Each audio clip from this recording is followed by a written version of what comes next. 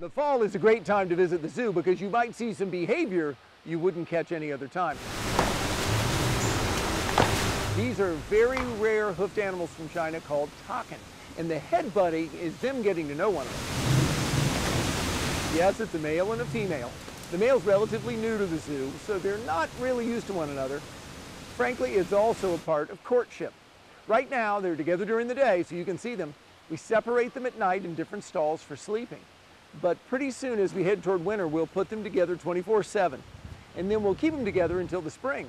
We'll probably separate them, though, because we hope that the female will be pregnant and give birth here in 2014.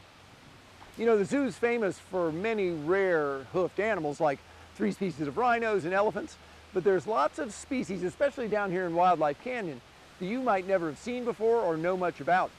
I'm talking about the takin, so you better get down here. Here at the Cincinnati Zoo, I'm Thane Maynard.